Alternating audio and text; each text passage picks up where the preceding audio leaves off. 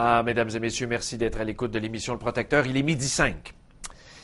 Moi, le dossier des orphelins de Duplessis, euh, j'ai fouillé ça un peu pour d'autres projets euh, pour la télé et euh, plus j'avançais dans le dossier, je trouvais ça horrible.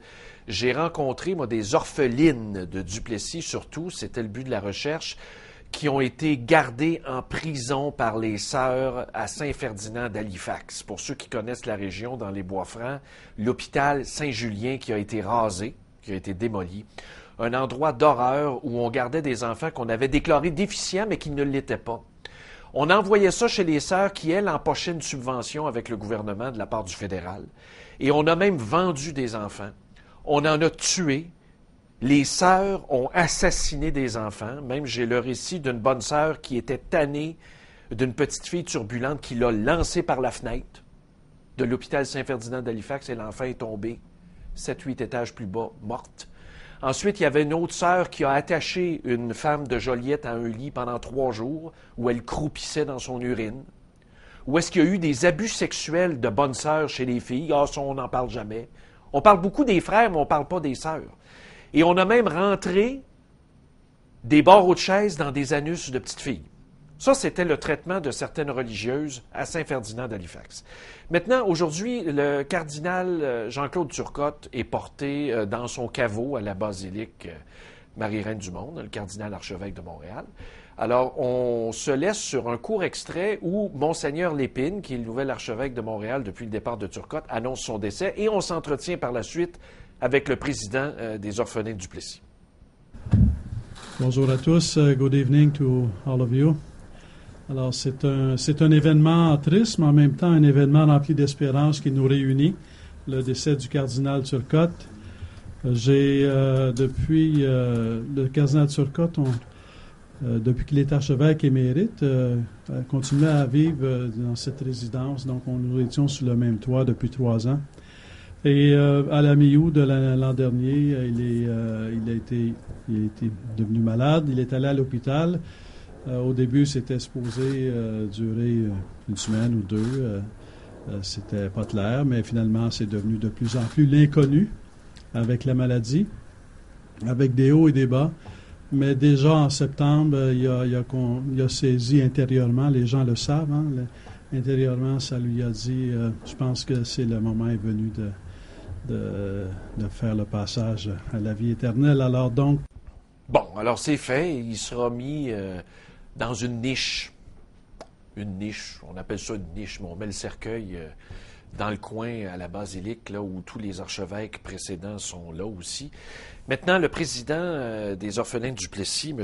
Hervé Bertrand, lui, euh, c'est sûrement pas de gaieté de cœur qu'on a à revivre ça, tout ça.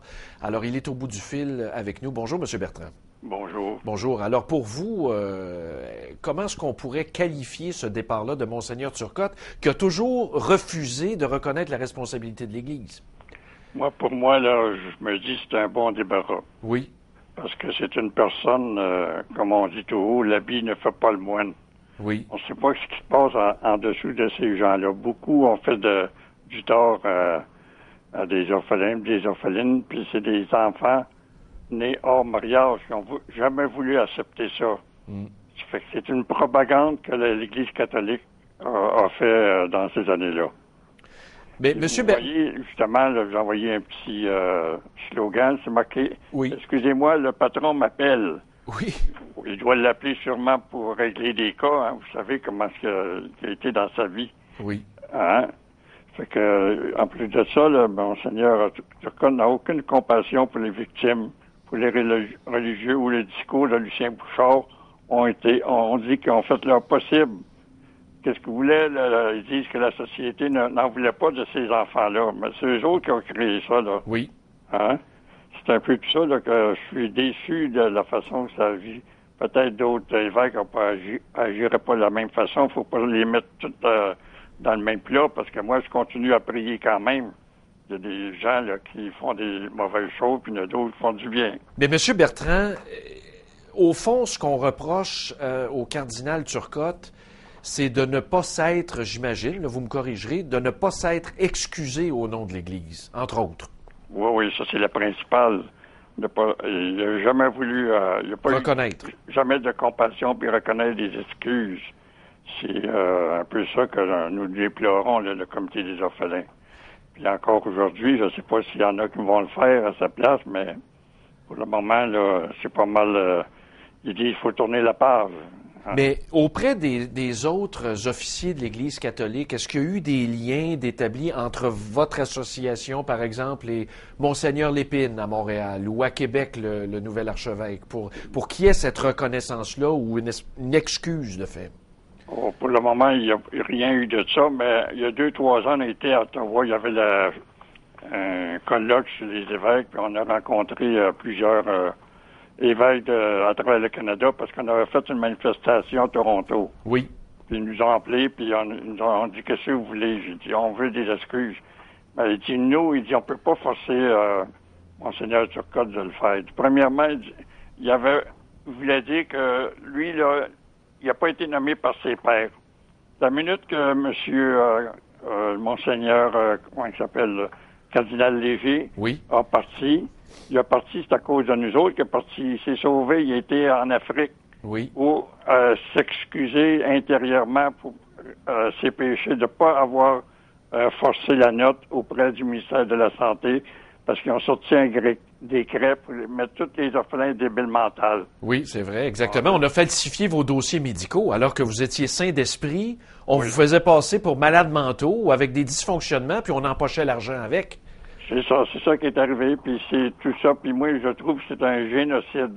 On aurait dû faire un- une enquête comme du monde, mais étant donné que le, la, la politique couche encore avec la religion catholique, ils ont tout fait pour étouffer le, le, le dossier. Oui, on a vu ça avec euh, l'époque de Lucien euh, Bouchard, euh, même Bernard oui. Landry. On a voulu mettre vraiment le couvercle à marmite, mais est-ce que le fait de s'excuser pour l'Église, le fait que l'Église soit réticente, c'est parce qu'elle a peur de faire un chèque? On a peur de faire un geste, parce que... euh, Un chèque, un chèque, un chèque monétaire, là, d'argent. oui, ça aussi. Ça a toujours été le, le nerf, euh, le, le- le nerf de la cause, hein, comme on dit. Euh, puis en plus de ça, comme on sait, là, il y a deux, trois ans, ils ont nommé une sainte, la, la, la sainte Émilie Gamelin. Oui, C'est elle la fondatrice des Sœurs religieuses. les Sœurs de la Providence. euh, oui, oui, ça. oui. Euh, pour la nommer sainte, il faut qu'elle apporte des millions. Ont- Monsieur Lucien Bouchard et euh, le cardinal, ils ont été là-bas en, en Italie demander pour mettre Pour qu'elle soit sainte canonisée.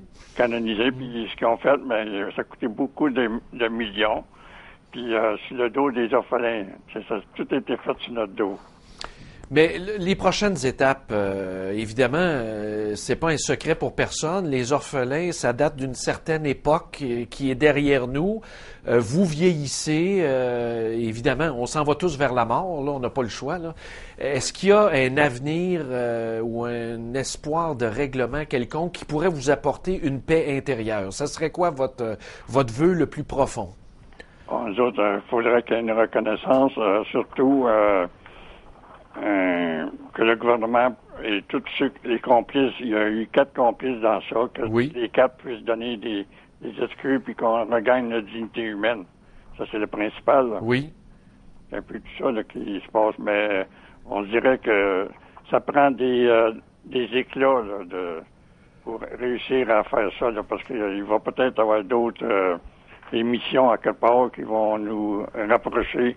C'est avec ça qu'on peut réussir, mais en, en justice, on ne peut pas rien faire parce que le gouvernement veut pas euh, procéder encore, il veut pas euh, ouvrir le dossier. Bon, Euh, vous êtes combien actuellement de vivants là, qui ont subi cet enfer-là à l'époque? Il en reste combien d'orphelins du Plessis? Oh, il en reste pas gros, il en meurt tous les jours. Il doit en rester un maximum une affaire de euh, alentour de 500 euh, personnes, des orphelins et orphelines.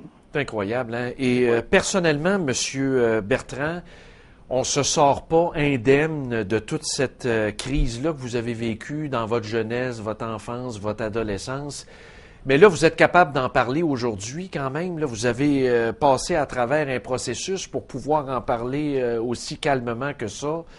C'est pas le cas pour tout le monde, j'imagine. Non, non, non, parce que la plupart des gens, les orphelins, il y a à peu près 2 à 3% qui ont réussi à pouvoir s'exprimer comme moi, là, euh, continuer la- une vie normale, parce que tous les orphelins auraient pu être un artiste ou un ingénieur. Mm. Ils sont tous restés accrochés à la société. Il y en a encore sont des institutions psychiatriques qui n'ont pas s'en sortir. Mais moi, je, je m'en suis sorti parce que j'avais une volonté. Là, depuis 1957, je voulais régler ça. Je voulais qu'on passe en justice puis qu'on finisse. Mais c'est le contraire. On s'est fait euh, rabrouer par les, les politiciens euh, vers eux.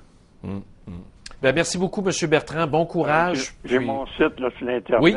L'adresse? orphelindeduplessis.com. Ben, c'est bien, on va aller visiter ça. Merci beaucoup d'avoir été avec nous. En vous remerciant. Au revoir. Au revoir. Bonne lutte. Hervé euh, Bertrand qui euh, préside euh, les orphelins de Duplessis. Et si vous allez sur Internet, sur le site de M. Bertrand, entre autres, ou ailleurs, vous allez découvrir des images, mais complètement horrifiantes. Par exemple, Saint-Jean de Dieu, qui est Louis H. Lafontaine aujourd'hui dans l'est de la ville, pas loin du tunnel. Vous allez voir des photos de l'époque où on enchaînait les enfants après le pied de leur lit ou après le calorifère. Oui, on les enchaînait à partir du pied ou des bras. On traitait ces gens-là comme des animaux, juste pour empocher une subvention du fédéral. Et ça, ça a duré très, très, très longtemps. C'est horrible. Moi, à un moment donné, j'interviewais une orpheline de Duplessis à Joliette. Et là, elle nous racontait les sévices, puis les, abus sexuels que la bonne sœur lui faisait. Et à un moment donné, pendant l'entrevue, paf! Elle a perdu connaissance. Ces gens-là, on leur a tué l'âme. C'est épouvantable.